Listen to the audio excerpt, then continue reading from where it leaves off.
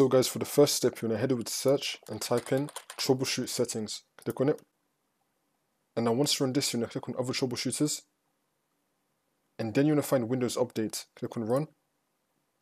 And now you want to run this. If any problems come up, it will try to fix it for you. Or it's going to give you some steps that you can do to try to fix it. So you want to go through all of this and then do what it says. And now for the second step, you want to head over to search and type in language settings. Click on it.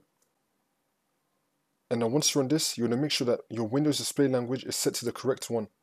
You want to select the correct display language, and then you want to scroll down, and then you want to select your correct country or region. Make sure that your country or region is also correct, and then once you do that, now you want to click on time and language on the top, and now you want to click on date and time, and now you want to scroll down, make sure that you have set time automatically on, and make sure that your time zone is also correct, and you want to scroll down again, and then click on sync now. And now for the last step, you want to head over to search and type in CMD. Then you want to run it as administrator. And then click on yes. And now once you run this, you want to type in sfc space forward slash scan now. And then click on enter. Then you want to run the scan. And now as the scan's running, you want to head over to search again and type in CMD again. Then you want to run it as administrator as well.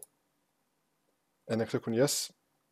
And now you just want to copy and paste the code, which is going to be down below in the description. You want to copy and paste this command. So you want to highlight over this, Control C, go back to CMD, Control V, and click on Enter. So now you want to run both these scans. And now once both these scans have been completed, you just want to restart your computer, and then the problem should be fixed.